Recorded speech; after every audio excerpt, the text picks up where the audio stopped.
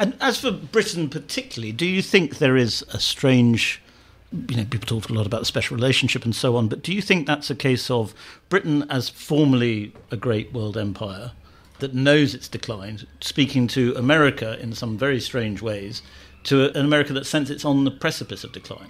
There's a way in which sort of the baton is kind of transferred almost gradually in things like the Pilgrim Society and like the relationship between the CFR and Chatham House. Yes. And you have a sense or the relationship between do you know the name William Stephenson, the yes. quiet Canadian? Yes, yeah, yeah. Uh, who ran British security coordination during the war, took over like entire floors of Rockefeller Center, basically, and sort of brought up the American intelligence community as a sort of child of the British intelligence community. and so there's like the sort of the deep kind of social connections there that kind of make that a kind of gradual baton transfer. I mean, if you go back to the 19th century, Americans have this thing called the Monroe Doctrine. You might have heard mm. of it. And in some ways, the international community, as we call it, is our extension of the Monroe Doctrine to the entire planet. Mm. In that, basically, we're like, we don't recognize any regime that we don't support. The meaning of diplomatic recognition itself changed in, like many things in the 20th century.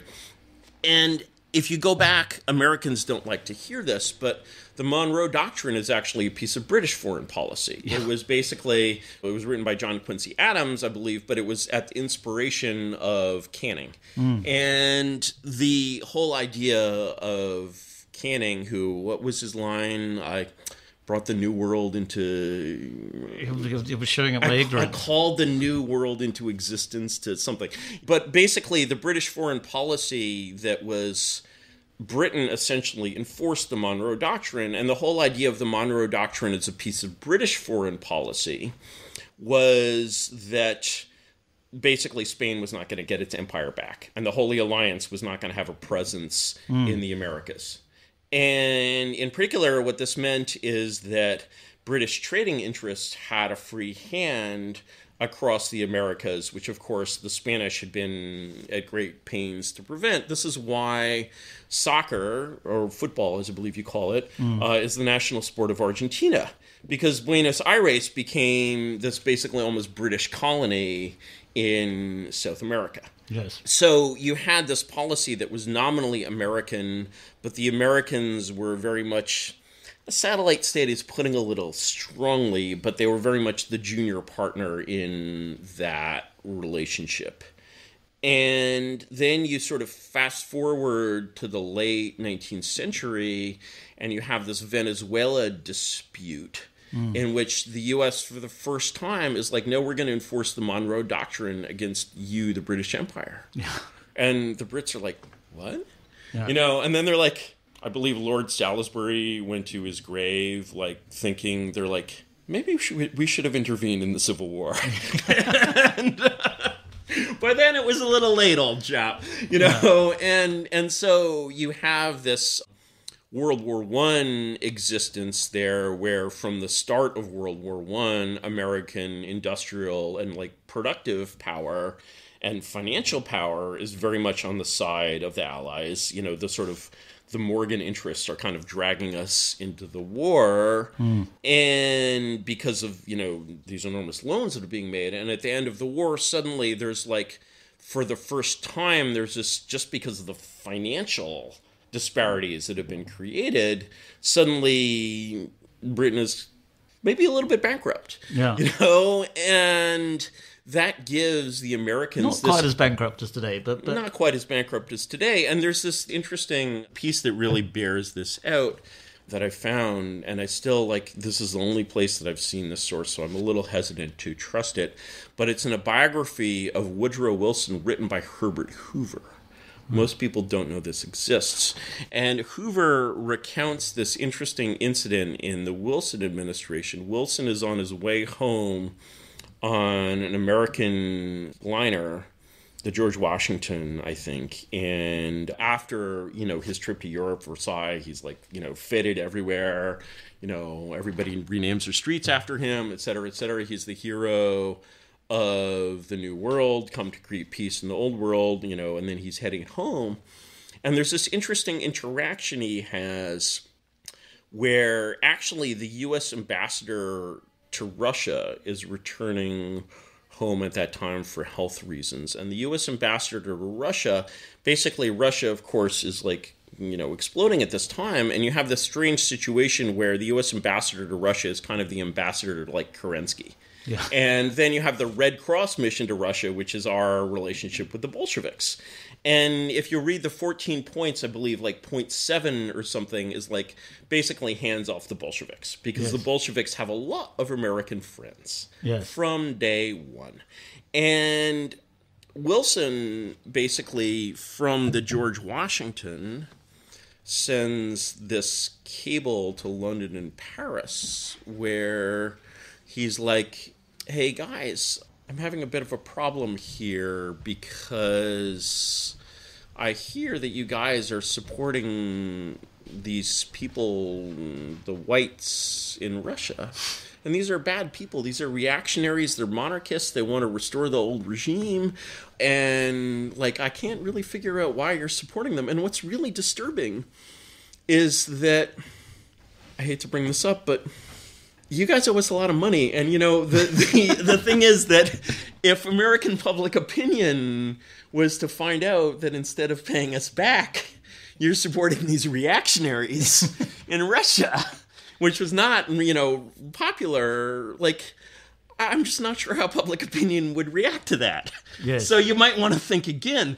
And so basically, the extent to which, you know, sort of people recall that America intervened in the Russian Revolution. Hmm. And they sort of nominally intervened against the Bolsheviks. What hmm. they were actually doing is sandbagging the effort against the Bolsheviks. So they like send forces there, and then the forces basically kind of don't want to do anything and kind of want to retreat and want to lose. And what they're trying to do is prevent basically right wing militarist interests, you know, the last of the imperialists in Britain and France from supporting Denikin and, you know, the white armies, basically. And so the extent to which the US basically creates the specter of Bolshevism that is sort of the like last, you know, destroyer of old Europe is really quite considerable. Well, there were very interesting things that happened, you know, in, in the, sort of the early days of the revolution with between America and Russia. Mm-hmm. And I think baseball took off briefly. Mm-hmm. not? Oh yeah, yeah, no, and, no. then, I mean, and then Ford, I think, launched a plant in. Oh, oh yeah, no. I mean, there was a huge amount of. I mean, it's it's FDR who finally recognizes the Soviets, but the love affair between you know the most fashionable people in America and the Bolsheviks, Yeah. like starts right away. You have like John Reed, for example, Yeah. and uh, you know the only only American buried in the wall of the Kremlin, Yes. and from like day one, it's like the way I try to explain this relationship is like imagine you're a libertarian. Imagine you're a libertarian and you're like Honduras has been taken over by libertarians and they're creating the libertarian paradise. And you get all this like libertarian reporting from Honduras, There's like a the new- seastead. yeah, the seastead Seastead rising baby. off the coast, right? You know, everything is happening, right? And then, you know, some asshole prints some story. Oh, they're killing all the Indians, right? Yeah, I- you know, this is just propaganda, right? You know, and and, and this is the way. You know, my grandparents were American communists, and they were Jewish American communists, and this is the way they reacted. They're like, "This is the promised land," mm. and the hatred of the Russian regime all across the West, but especially in America, had been like so considerable. Like, I have this book that I found by actually one of the founders of Slavic studies in the US. I'm forgetting the name offhand. He was funded by the Rockefellers to basically go and essentially raise revolution in Russia. And there's this one episode where she's talking to some like rich old Jewish lady in Chicago, and she's like, writes him a check, and she's like, I hope this check buys the bomb that kills the czar. and so that's kind of the early days of like U.S. like revolutionary foreign policy, and like you know nowadays we have the color revolutions, right? Yeah. But it's kind of the same well, thing.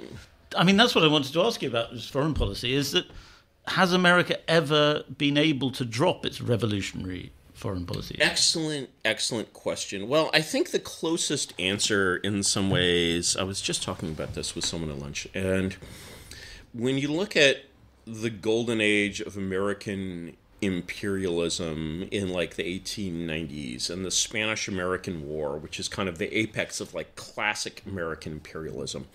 And it's very much taking taking a tip from the English in terms of their like kind of ideological method because basically they're like, oh, human rights are being violated in Cuba. Cuban maidens are being, you know, like violated, you know, by the brutal Spanish, you know, occupiers, right? And they sort of all of this like yellow journalism is like ginned up, you know, and then of course the Maine blows up. Nobody knows why the Maine blows up in Havana. It's probably just carelessness, you know. but then they're like, aha, Spanish, an evil Spanish plot by the evil king of Spain, right? You know, terrorism.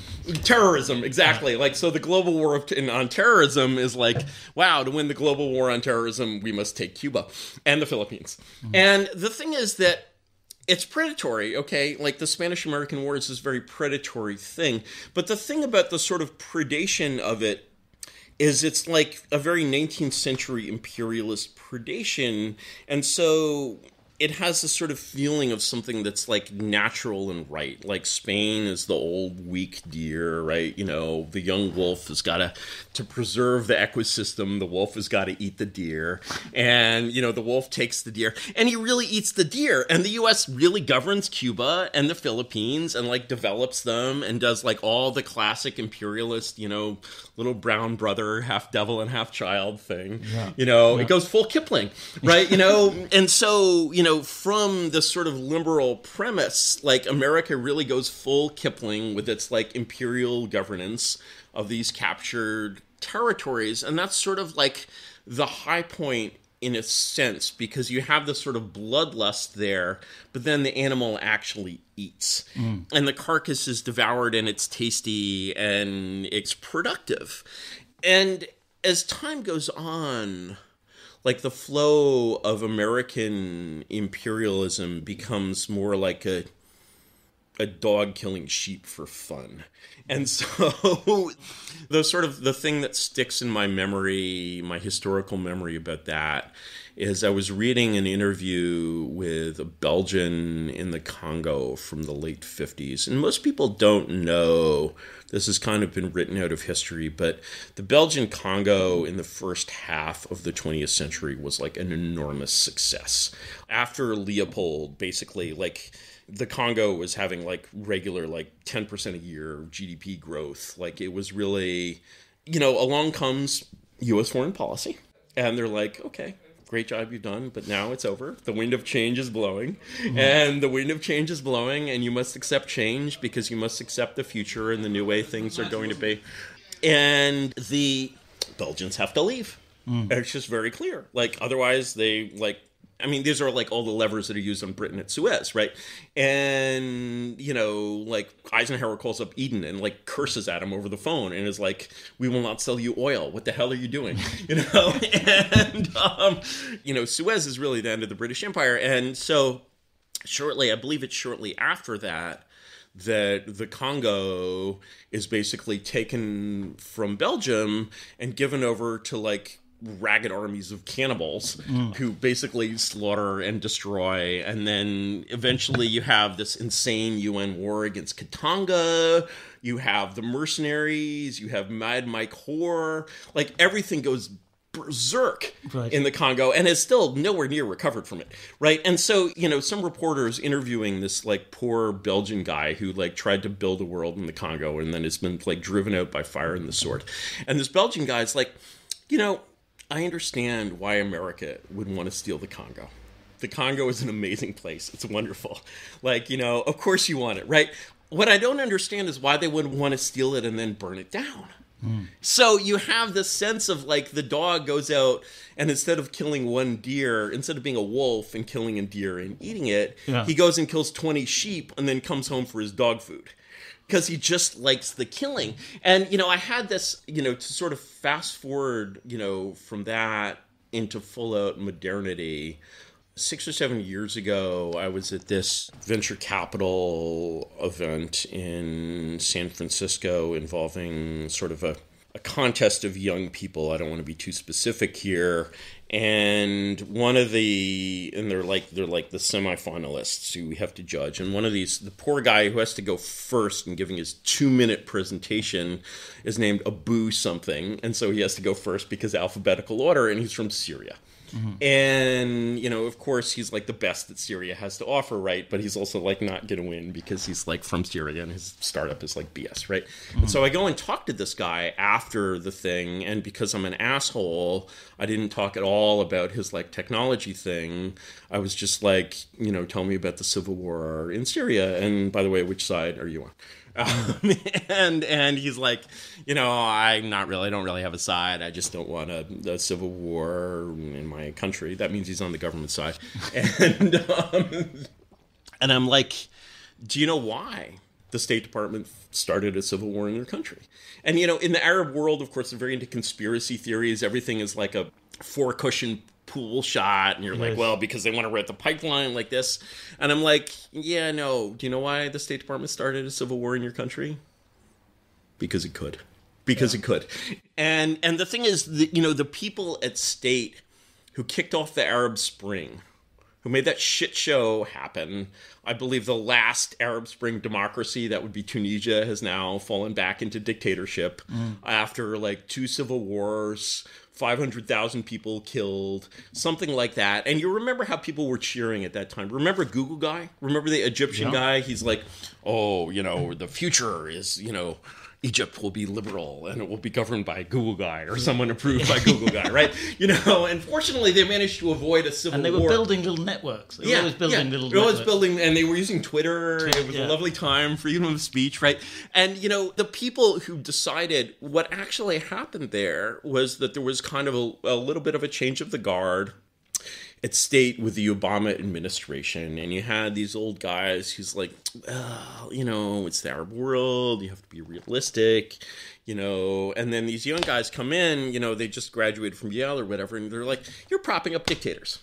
By propping up dictators, that's sort of American parlance for not overthrowing them when they should be overthrown. and, you know, the thing about U.S. foreign policy is so they basically, you know, the young guys win.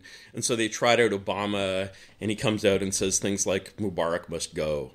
You Yeah. know, Assad must go, right? You know, as if Well, there was like, a red line phase, wasn't there? There was a. You know, Yeah. you're crossing this red line. Yeah, of course. But Yeah. the thing is, you're forced to cross the red line anyway, right? This was Yeah. with Gaddafi, right? You know, where it's like, oh, you have to tolerate this rebellion. Can't do anything about the rebellion. and Gaddafi is like, we will exterminate the rats, you know. And he gives this rat speech, which is great, right? And you have basically what that causes. You know, the victory of these young guys causes you know civil wars in two countries. It causes egypt to almost get to civil war before they have to reverse and have their military dictatorship back and probably causes the death of about half a million people mm-hmm. and has no positive effect whatsoever.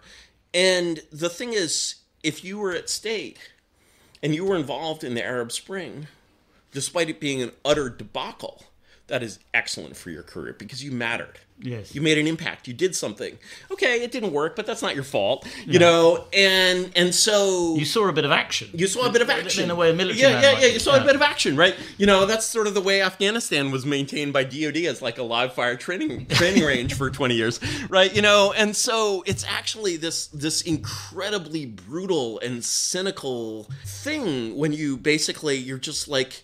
Why did we start a civil war in our in your country? You know, Yeah. because we could. You know, it's like the scorpion and the frog. It's like it's by nature, right? And so you know this excitement and the excitement of like you must remember how well not just Americans in the UK too, just the intoxicating champagne like feeling of like being behind a revolution in someone else's country. Yeah. It's just like When you- everyone when you were talking about rats, you reminded me of David Cameron gave possibly the most cringe speech I've ever heard. Tell me.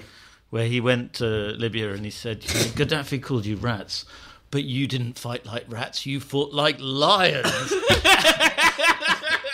and even the even the Libyan crowd were like, "Oh, that's, that's pathetic. you could do better than that, surely." right, and it's so it's so cringe that it basically, of course, you know, Cameron is trying to sound Churchillian when Yeah. he's doing that, but you know, all he's doing is sort of like making you think, well. Maybe Churchill was a bit cringe as well, you know. and, and you know, when sort of this is kind of the reductio ad absurdum Yeah. of all of this kind of revolution spreading of the last, you know, it's like if you go back to the 19th century and like Garibaldi and, you know, Garibaldi and Mazzini. You know, just they were exiles in England. You know, they had huge fan bases. They were like, you know, Gladstone goes and describes the what does he describe the kingdom of the two Sicilies as? Something like he's like the last vestige of barbarism or Oh whatever. yes, yeah, yeah, yeah. You know, I, I forget the exact terminology. Gladstone, as a liberal, is very, Yeah. very unhappy with the Bourbons, and then you know Garibaldi with his three hundred men, like it's Garibaldi with his three hundred red shirts and cruising right offshore Yeah. as the Royal Navy. yeah. Right. And so this is an exercise of British power, and it's very like the exercise of American power that creates the American Philippines and American Cuba, where you're just like, we've taken this backward thing and we've made a nice modern British, you know, client state for our merchants to like play hmm. and make money on. Right. And so, you know, did that was that the unification of Italy good for Italy, bad for Italy? I don't know. It happened. And again, it resulted in sort of something workable. The example from that century that I always like to remind people of as a cautionary tale is that all of this liberation stuff and all of this nationalism. This is good nationalism. Good Italian nationalism is Mazzini. Bad Italian nationalism Mussolini. Right? Um, yeah. And the good somehow always results in a British client state. It's very peculiar. You know? and it's like they can sense that you and Britain are good. You know? they can they can feel your goodness from afar. Yeah. You know? And and Poland was very inspired by this. And Poland, the Poles, of course, were um, part of Russia at that time, and they tried, I believe, three times in the 19th century to revolt against the evil Russian Tsar, you know, and they forgot just one very small basic issue basically which is that they didn't have a coastline. Yeah. and but they're still inspired by the propaganda but the royal navy can't do anything because you don't have a coastline right? And and that's sort of 19th century like liberal imperialism where it's just like okay you can see it as this kind of cynical brutal thing but it also it pays the bills it gets shit done and these same kind of diplomatic establishments that were kind of getting shit done for British and American commerce back in the 19th century are now like the dog killing sheep. They're just doing it because that's what it does.